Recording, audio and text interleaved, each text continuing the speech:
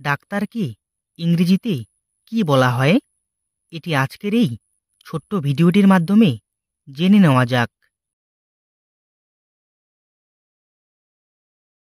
Doctor, এর ইংরেজি হবে ডক্টর বা ফিজিশিয়ান।